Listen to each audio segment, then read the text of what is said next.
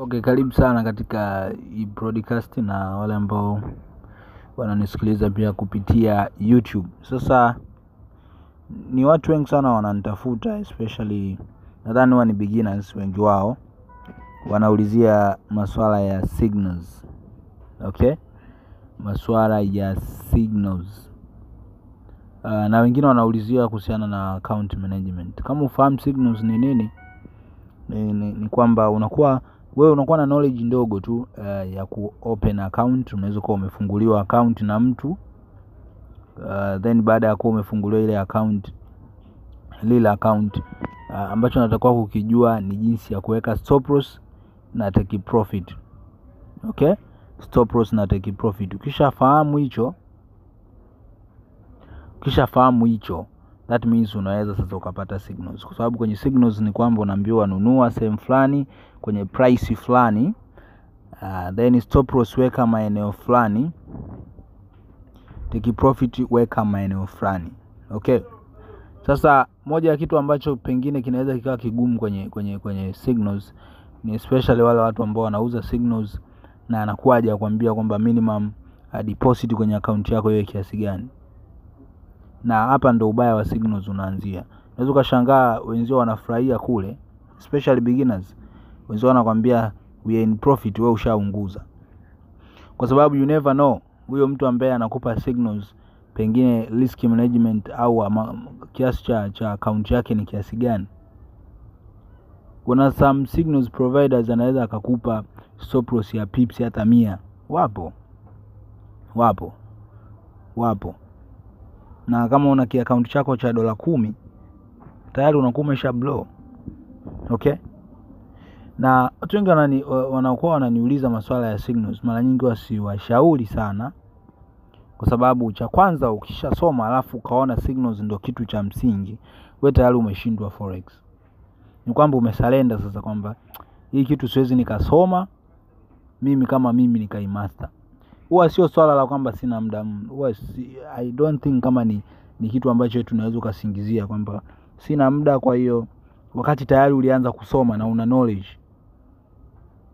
tayari, wewe utakuwa ni mtu ambaye umesarenda. Na nimeshare leo kwenye kwenye Instagram kuna clip ya ya, ya jamaa ambaye alikuwa ameunguza, alikuwa na akaunti ya dola kama elfu tatu hivi yeah, I think yule alikuwa anategemea signals, na tatizo ni kwamba traders wengi beginners wakishajua kwamba una jina kwenye market wanaamini basi wewe ni 100%. Kwa hiyo uki, ukienda somewhere ukapewa signal ukaambiwa buy, basi unajiripua, unaenda against kabisa hata risk management. Umeambiwa kwamba make sure una risk kiasi fulani wewe, basi una unaweka order hata saba, sababu unaamini kwamba huyu jamaa lazima nitapiga hela. So that guy aliweka oda nyingi sana, zilikuwa GBP JPY kitu kama hicho, na akaunti ya dola elfu tatu kaweka loti ya moja moja, oda oda oda nyingi in short. So alichoma, na ukiangalia you know, tunavyokuwa tunaangalia trades, we mimi kwa mfano, ukituma ukituma matokeo profit za MetaTrader zako, na uwezo wa kujua kabisa kwamba this guy bado hayuko vizuri kwenye risk management, kwa sababu inaonekana pale sometimes. Uh, unapokuwa na riski kikubwa sana, haijalishi unaingiza kikubwa kiasi gani, lakini lazima ujaribu kuwa una riski kiasi ambacho kinaendana na, na size ya akaunti yako. Sasa kwa sababu anayekupa signals yeye ana size yake ya account na wewe una akaunti yako, unaweza ukashangaa ana, ana riski percent fulani, wewe huku ni tofauti because mna size tofauti ya pesa. So siwashauri watu wengi wategemee wa, wa sana signals. Koma, kila kitu kipo, yani kila kitu kipo. Kama wewe ni fighter utakipata, kila kitu kipo mtandaoni. Ukihitaji kusoma kila kitu, ni vitu tu hivi vichache ambavyo unakuta trader kama trader ameamua kukaa chini kakaa kaka chini kafanya research kaja nacho kitu ambacho watu wengi wanakuwa hawana na hivyo vitu mara nyingi huwa viko free. So vitu vingi ambavyo vinafundishwa YouTube vinakuwa ni vitu ambavyo vipo everywhere, si unanielewa? Yani vimefundishwa tayari huko nyuma, unaelewana? Kwa kama wewe unahitaji kufanikiwa kwenye forex market, lazima ukubali kufanya research, kutafuta uh, madini mapya kila siku okay lakini kuna watu ambao wanakuwa very very busy labda wana labda wameajiriwa somewhere so wanategemea signals.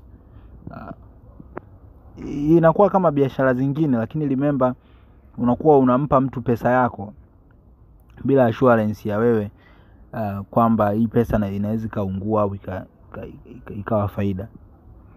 Lakini still inaweza ikawa ni, ni nzuri kwako as long as huyo mtu unamwamini na hauna muda kabisa totally wawe kukaa na kufanya analysis. Okay so sishauri sana signals lakini kama huna kabisa muda totally huna muda kwa mfano mtu anafanya kazi za ujenzi zile lakini mtu anayefanya kazi ofisini it is possible kabisa kufanya forex. Labda mtu anafanya kazi za ujenzi labda anabeba mchanga anafanya nini kazi ambazo ni, ni manual ambazo zinahitaji energy ya kutosha.